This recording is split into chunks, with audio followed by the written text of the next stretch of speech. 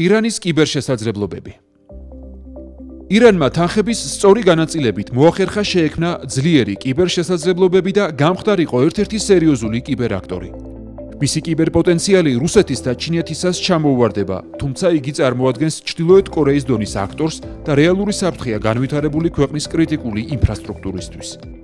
ისრაელსა და საუდის არაბეთთან წლების განმავლობაში მიმდინარე დაპირისპირებამ ირანის კიბერპოტენციალის განვითარებას ხელი შეუწყო. ირანმა რუსეთისა და ჩინეთისგან მიღებული ტექნოლოგიური დახმარების ხარჯზე მოახერხა კიბერშესაძლებლობების განვითარება.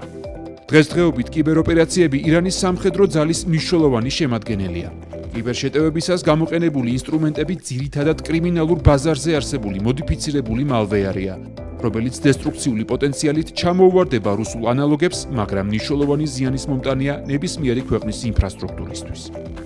ცირე ბანკების, ლოკალური მნიშვნელობის ენერგეტიკული კომპანიების ან ნავთობსადენის კონტროლის სისტემებისთვის ირანის დესტრუქციული კიბერპოტენციალი რეალურ საფრთხეს წარმოადგენს. უფრო მაღალტექნოლოგიური შეტევებისთვის ირანის კიბერშესაძლებლობები დღეისათვის მზად არ არის.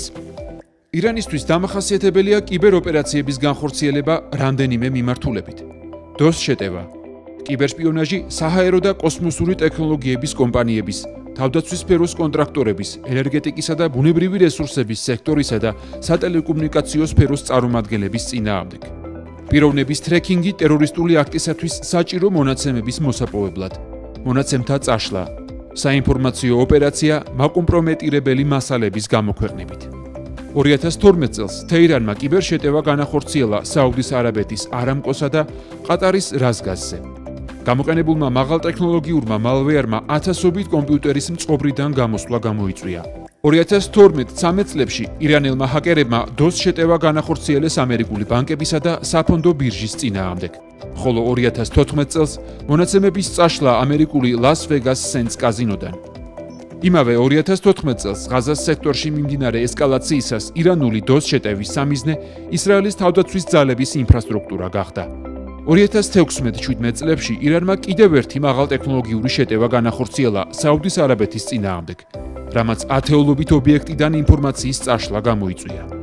ამჯერად სამიზნეს სამოქალაქო ავიაციის, ცენტრალური ბანკისა და სახელმწიფო უწყებების ქსელები წარმოადგენდა. საქართველოსთვის ირანის კიბერშესაძლებლობების შესაძლოა საფრთხეს წარმოადგენდეს იმდენად, რამდენადაც ჩვენს ტერიტორიაზე განთავსებულია ირანის ხედვით მისდამი მტრულად განწყობილი სახელმწიფოების ინფრასტრუქტურა. ასევე თანამედროვე ტენდენციების გათვალისწინებით, სავსებით რეალურია ირანის მიერ მხარდაჭერილი ტერორისტული ორგანიზაციების მხრიდან ქართული კიბერქსელების პროპაგანდისტული მიზნებით გამოყენება.